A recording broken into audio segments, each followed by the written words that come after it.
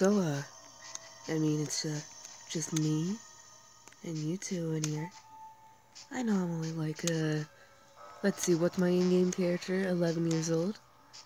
And, uh, so, uh, I mean, we got a bed right here. So, you know we gotta do?